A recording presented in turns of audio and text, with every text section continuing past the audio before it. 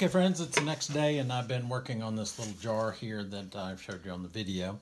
Uh, the lid I made oversized with the uh, idea that I can always make it smaller, um, but I can also use that width for some decorative detail. So I decided to do this kind of scalloped edge on it to mimic the jar. So the jar I have done all my creasing in there. I've added the foot details to it. I might go back and do a little cleanup on some of these areas now that it's stiffened up a bit.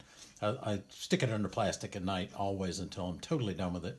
Uh, it just allows me a little bit more chance to do it. A little concerned about the rim on this being a little bit high. It makes the lid sit high.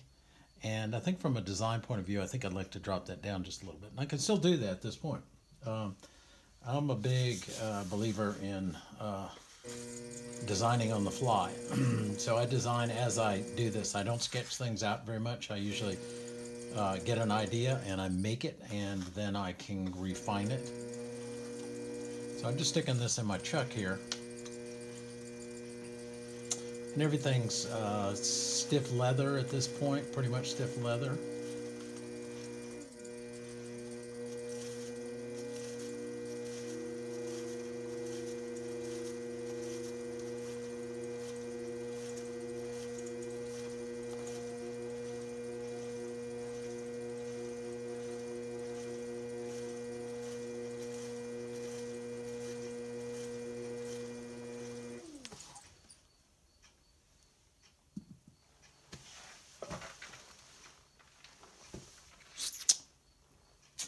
A little bit more.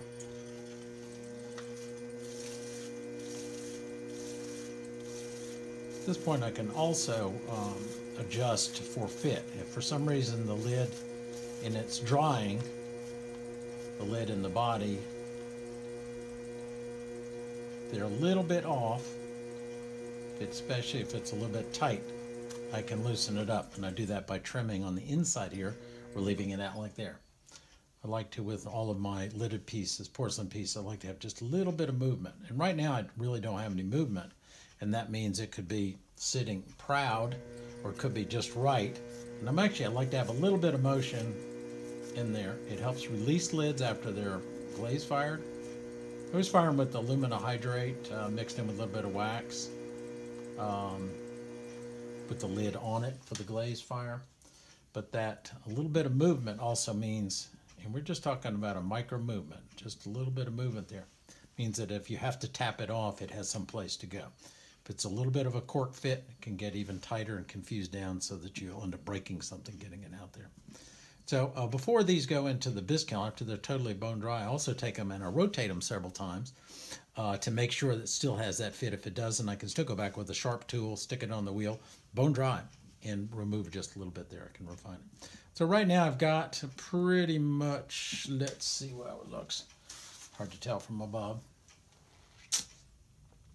So I've lowered the flange, the lid flange, just a little bit, and I like that. I think I, I like that better than it sitting a little too high. So I think I'm going to go with that. I see a little cleanup details I'm going to do. So go back in. The edge of this rim needs to be cleaned up a little bit here. Música